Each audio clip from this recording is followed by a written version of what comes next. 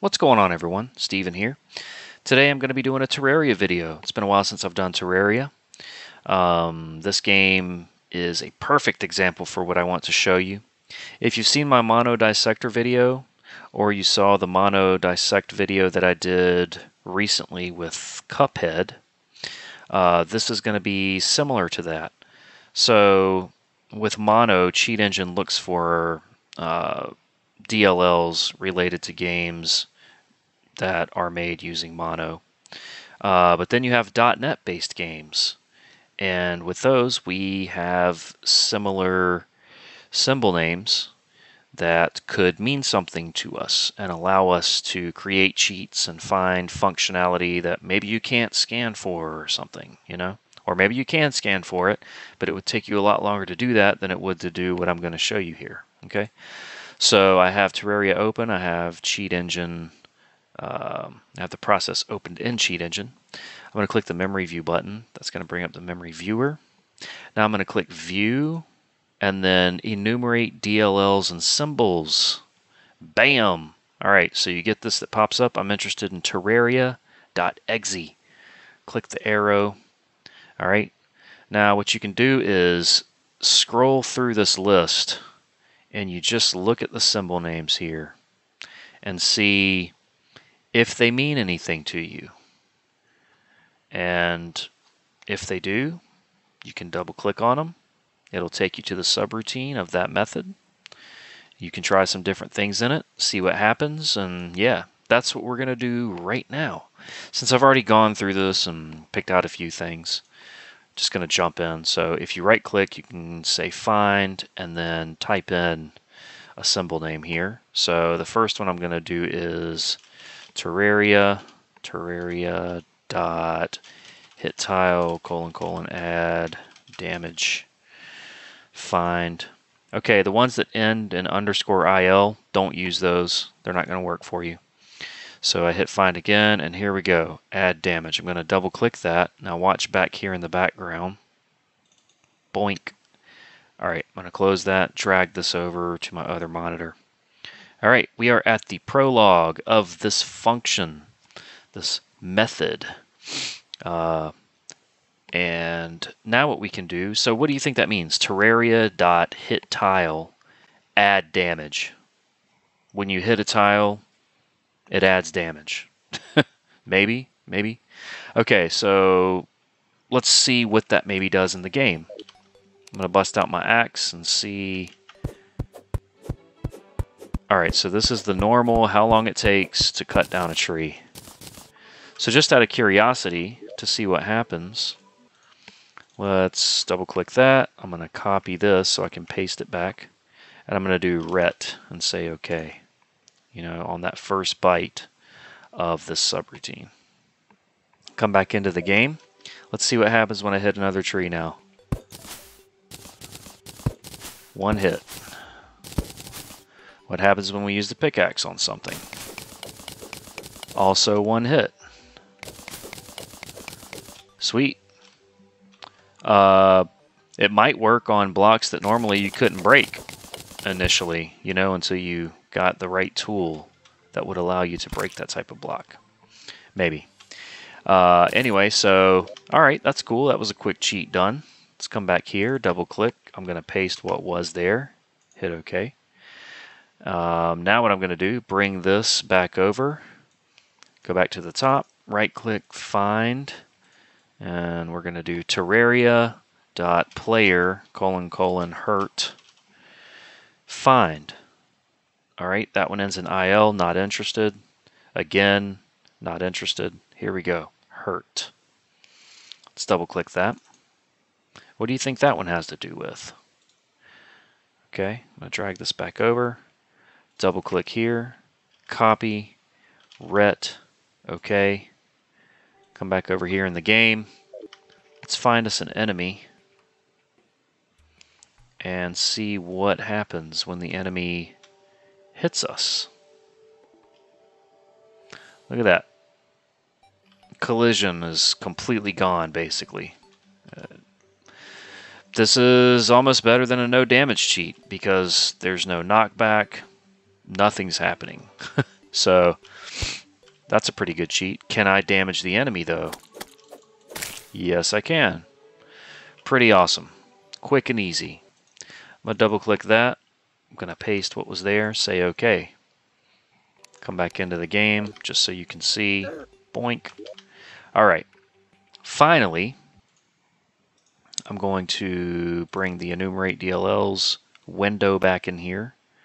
Go back to the top. The reason I'm going back to the top is because if your result is way down here and you do a control F for something that is above your result, it won't find it. So I'm going to go here, say find, uh, and, well, you could say search entire file maybe, and I don't know why these are grayed out at the moment. Anyway, I just like to go to the very top and start my search over. So we're going to go Terraria, UI, item slot, colon, colon, left click, go find, all right, IL, not interested, find, okay, here we go. Uh, wait, that's an IL, not interested, okay. All right, now here's one thing I want to show you. Sometimes you can have the same symbol name, um, I don't know if these are just different instances of the same class or what, um, or if it's the same method within different classes. I'm not sure, but anyway. So what do you think this has to do with? When you left click on an item in an item slot, right? Perhaps. So what I'm going to do now is a break and trace. And what happens is if you choose the wrong one, which you don't know it's the wrong one until you do it, and then you're like, why isn't this working? Well, maybe there's the same symbol name farther down. You could search for that. Uh, but yeah, you won't have the break and trace trigger uh, with the one that doesn't work. All right. I'm going to double click on the bottom one. I think the bottom one is the one I want. Drag this back over here. Okay, I'm going to right click here, say break and trace instructions. Save stack snapshots, step over instead of single step. I'm going to click OK. This will attach the debugger. Yes. Bam, that pops up. All right, now I'm going to left click on the wood here. And bam. Okay. So, why did I want to do that? Well, what if we want to try to make a cheat where whenever you left click on something, it gives you 999 of that? Sounds cool. Well, the break and trace, what was that useful for? Well, hopefully somewhere in here, we're going to see 395. Okay. We're going to see it either represented in hex or as decimal 395. So if you need to, bring up calc and make sure you're in programmer mode and then as decimal we can go 395 and then look here hex will be 18b so you can just kind of keep that around if you want. But now the idea is you go through each one of these instructions here and you look for, let's see, like this is a pointer to a memory address. So you'll see that memory address right here as well as the value that's in it. Okay. Um, and then you can also look at values in the registers here. So we want to look for a decimal value of 395 or a hex value of 18B. In registers, you'll see the hex values, but up here, if there is a value, uh, like decimal value, that's being pointed to, it'll show that in decimal and hex here. So I'm going to spare you the time of going through each of these instructions because I've already done that. And I know that this one here has uh, that value. All right. So now what we can do, this is a compare. That's cool. All we're interested in is that this pointer right here is pointing to the memory address that has this value in it.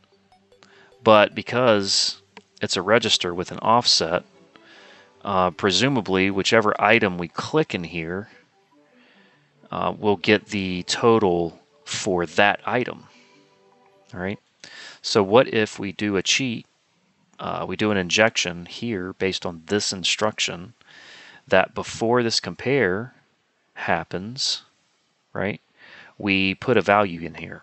So let's double click this, come in here, all right, right here we can say tools, auto assemble, all right, template, let's do full injection, say okay, all right, define address, uh, we can say, if we want, terraria.ui.item slot colon colon left click plus 279.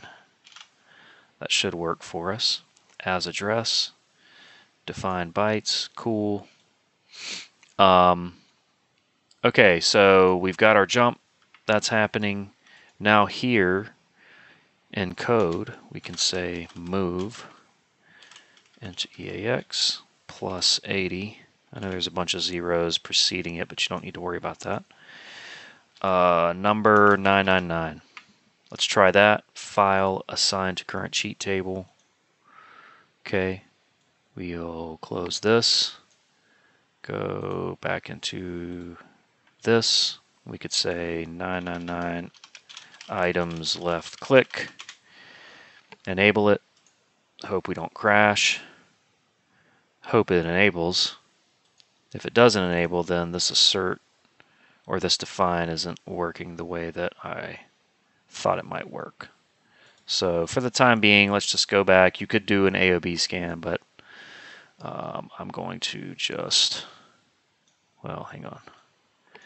Control C, get rid of this template. Uh, let's just do AOB, AOB injection, and we'll say 999. Okay, and code here, paste that. There we go. Ah, dang it. Maybe 999 wasn't the best thing to name that. Using a number might not work. So let's try this one more time. AOB injection. Yep, let's call it ASDF. Bam. Okay, back at code. Paste what we did. Okay, and we'll say OK. All right, and let's try to enable it now. Bam. Okay, we're good. So we see our injection happened here. Uh, let's left click on an acorn. Look at that, 999. But because it's left click, it doesn't just happen here. What about this coin here? It happens there. What about when we make a torch? Doesn't happen at this point. So this is what we do in here. Okay? So presumably anything in this area. Over here, there's probably another subroutine or something within this uh, this same subroutine that when you left click in this region, um, you have whatever you want, 999, right? So anyway, that's just kind of a quick way to show you how, let's put that back the way it should be, uh, well, let's see if I left click now. Okay, there we go. Yeah, and it starts sorting itself out as you do that. Anyway, okay, um, that's pretty much it. There's so much stuff to find. If you have Terraria, I highly recommend you do this and just go through all this stuff and play around because it's pretty epic everything that you can do. Right. So I hope you enjoyed this video. I'm going to be doing more Terraria videos, probably some specific cheats uh, again, because a lot of people are interested in some Terraria videos. Uh, if you haven't yet, go check out my Cuphead Let's Hack series. I'm also starting a Let's Hack series on the game Elex, so go check that out. And uh, give me a thumbs up if you enjoyed the video. Don't forget to subscribe, and I'll see you guys in the next one. Take care.